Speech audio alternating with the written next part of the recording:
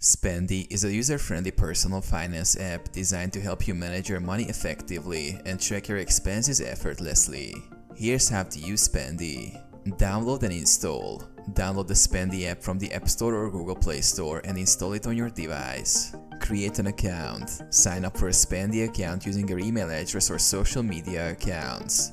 Add accounts. Link your bank accounts, credit cards, and other financial accounts to Spendee for a comprehensive view of your finances. Spendee supports manual entry and automatic synchronization with selected banks. Set budgets. Define budgets for different spending categories such as groceries, dining out, entertainment, and bills. Spendee offers customizable budgeting options to suit your needs. Track expenses. Log your expenses manually or automatically categorize transactions synced from your linked accounts. Keep track of where your money is going in real time. Analyze spending.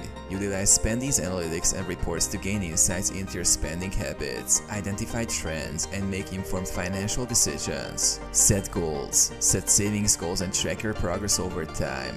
Spendee helps you stay motivated and focused on achieving your financial objectives. Collaborate. Share budgets and expenses with family members or partners for better financial management and accountability.